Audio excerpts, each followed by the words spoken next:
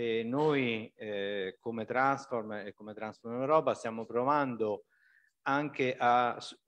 eh, costruire relazioni tra quello che abbiamo, tra eh, diverse testate, giornali eh, della sinistra in Europa, perché pensiamo che la soluzione non possa essere quella di avere una dimensione nazionale,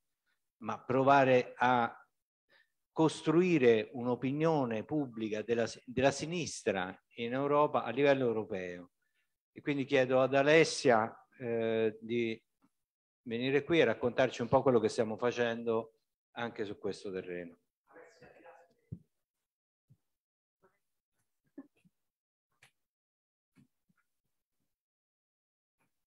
Eccomi qua.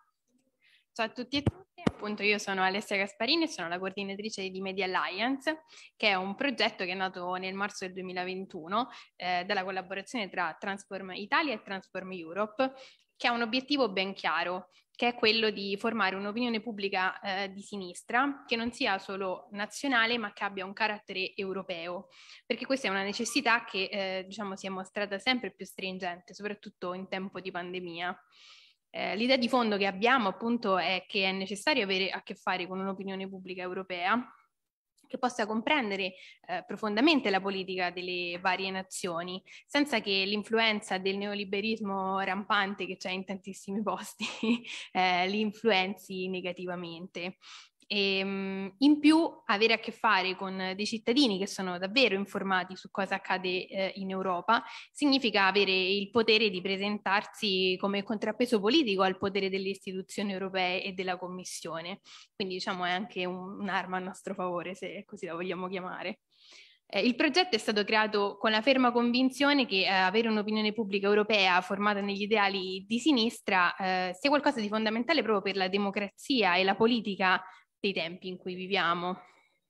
perché ormai tutte le questioni più importanti si decidono a livello europeo, che siano sociali, politiche o economiche. Quindi ehm, alla domanda come fare appunto per creare questi strumenti abbiamo risposto creando Media Alliance, che è come diceva già Roberto, una rete di testate di giornalisti e giornaliste che operano eh, nell'area della sinistra europea e che cooperano appunto per creare questa opinione pubblica eh, di cui abbiamo bisogno, ponendo come base il diritto fondamentale al multilinguismo perché ehm, crediamo che essere informati nella propria lingua e non dover necessariamente ricorrere all'inglese sia importante per poter appunto eh, partecipare al dibattito e farsi una propria opinione.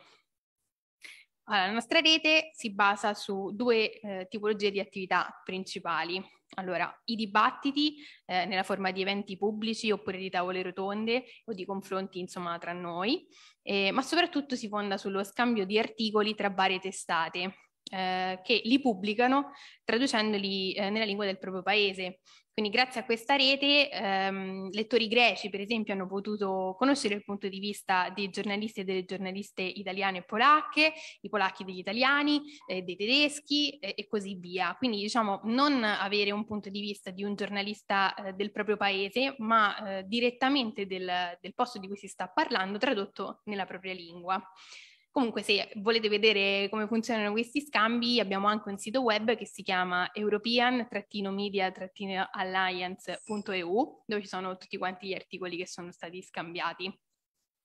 Allora, per quanto riguarda l'Italia, eh, i nostri punti saldi sono Transform e Left che insomma sono un settimanale, Transform, vabbè, lo conoscete tutti, non ve lo devo spiegare io che cos'è, e, ehm, e, i collaboratori di Transform, i giornalisti di Left appunto sono molto attivi in questa, in questa rete. E mh, gli altri giornali che ne fanno parte sono Avghi, eh, della Grecia, Epochi sempre della Grecia, Eschierda.net del Portogallo, L'Umanité della Francia, Mondo Obrero della Spagna, eh, Noi Deutschland della Germania, Solidaire del Belgio, Streik.eu che è della Polonia e appunto i collaboratori anche non solo di Transform Italia ma anche di Transform Europa e di tutte le varie diramazioni di Transform, quindi siamo, siamo un sacco e siamo molto attivi. per quanto riguarda le iniziative, eh, a oggi abbiamo in programma un importante incontro sulle elezioni francesi in collaborazione con l'Umanité, eh, di cui sapremo presto maggiori dettagli, anche perché ancora non sappiamo come finirà, quindi speriamo bene, ma lo sapremo dopo domenica.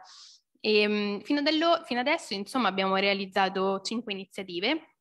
di carattere sia pubblico che privato. Ehm, abbiamo iniziato tutto con un meeting preparatorio il 9 aprile del 2021 e poi abbiamo presentato al pubblico Media Alliance il 7 maggio dell'altro anno. E da là appunto siamo partiti alla grande perché lo scorso dicembre abbiamo realizzato due iniziative importanti, una che era un dibattito sulla Polonia e sulle sue relazioni con l'Unione Europea in merito a temi come immigrazione, questioni di genere e valori democratici fatto in collaborazione con i giornalisti di Strike, che era appunto a dicembre era un argomento caldissimo, quindi è stato un dibattito molto acceso. L'altra iniziativa che abbiamo fatto sempre a dicembre è stato un momento di riflessione sulle sfide che ci presentava e ci avrebbe presentato il 2022 all'Europa e mh, ha coinvolto tutta la rete. In quell'occasione abbiamo presentato anche un calendario eh, fatto in collaborazione con Transform Europe. Che trovate lì all'ingresso. Ok, esatto, così potete capire subito di cosa parlo. Eccolo, abbiamo anche una valletta che ce lo fa vedere. un balletto. e, ehm, appunto in questo calendario eh, abbiamo ehm, esplicitato i nostri auguri, se così li vogliamo chiamare, eh, di avere uh, un'Europa migliore nell'anno nuovo, quindi di avere giusti salari, il diritto alla cittadinanza, il diritto a un clima più sano, eh, una riduzione degli armamenti nell'Unione Europea, la riduzione del gender gap, diritto di accesso alla sanità anche in correlazione ai, ai brevetti sui vaccini del Covid che appunto sono qualcosa di centrale ancora nel dibattito. Oltre all'iniziativa sulle elezioni francesi che vi anticipavo, sono in programma anche un dibattito sulla Spagna e una tavola rotonda con tutti i giornalisti che avverrà presumibilmente dopo l'estate. E sempre dopo l'estate, eh, a settembre, stiamo cercando di organizzare un evento di Media Alliance all'interno del Festival dell'Umanité che si tiene a Parigi tutti gli anni, quindi sarebbe insomma un, un bel risultato. E a proposito di risultati, eh, mi avvio a concludere menzionando due successi che abbiamo ottenuto, quindi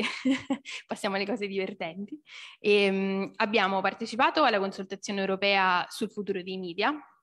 con un documento pubblico redatto da noi, e in più di recente eh, siamo stati eletti vincitori di un bando della Fondazione Enop, quindi ci elargirà dei fondi per creare una raccolta di articoli che attraverso tematiche fondamentali come la pace, la pandemia, eh, l'ambiente, le migrazioni, l'economia, le questioni di genere, eh, esprimerà appunto il nostro desiderio e il nostro obiettivo di creare questa opinione pubblica che sia veramente europea. Grazie, non vi rubo altro tempo.